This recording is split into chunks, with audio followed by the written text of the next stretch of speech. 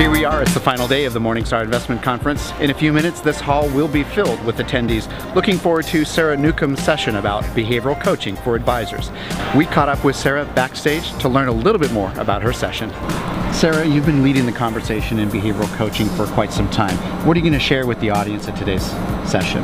Well, so today we're going to talk about what it means to be financially healthy because I don't think people have a clear idea of what that means. So we've established a definition and some measurement for that. So I'm really excited to talk about that work.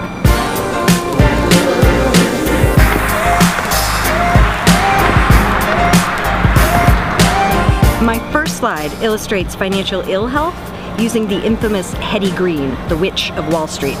I think that advisors will see a bit of their own clients in Hetty. So this talk um, not only identifies what it means to not be financially healthy, but two very simple underlying psychological factors that advisors can make a difference in so that they can actively go back and coach their clients that are in financial ill health to get healthier immediately.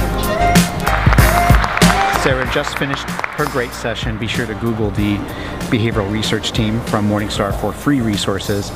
Now we're transitioning into the next session, which is a conversation with Larry Fink of BlackRock.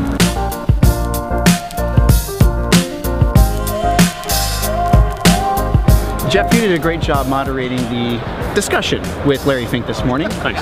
How would you summarize what you two talked about today? It was wide ranging, which very much fits Larry. He's he's got a great vantage on the industry, is the chairman and CEO of the world's largest asset manager, and so really he sits at the nexus of regulatory issues, shareholder governance issues, competitive issues, consolidation issues, and not coincidentally we touched on all of those things through the prism of uh, through which Larry views things as, as well as uh, sort of a broader BlackRock and industry perspective. So it was quite useful to gain his insights and, and learn more about BlackRock's plans and, and specifically how, how he thinks that intersects with where advisors are going in the industry at large.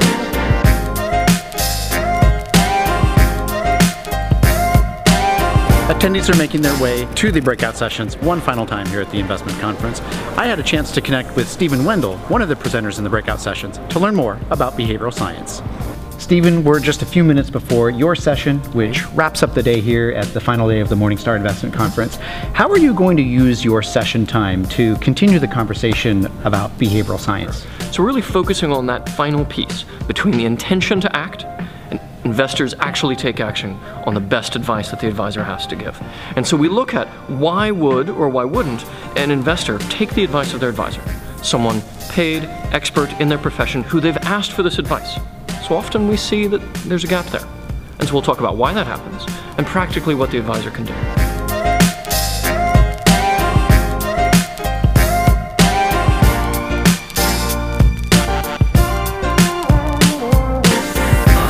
You can see, things are winding down at the Morningstar Investment Conference.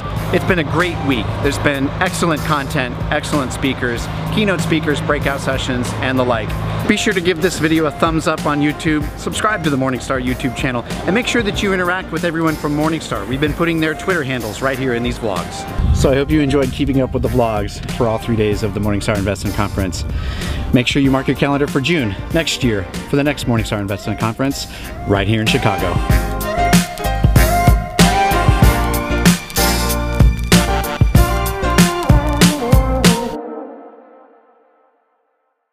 My first slide illustrates financial ill health using the infamous Hetty Green, the witch of Wall Street. Cool.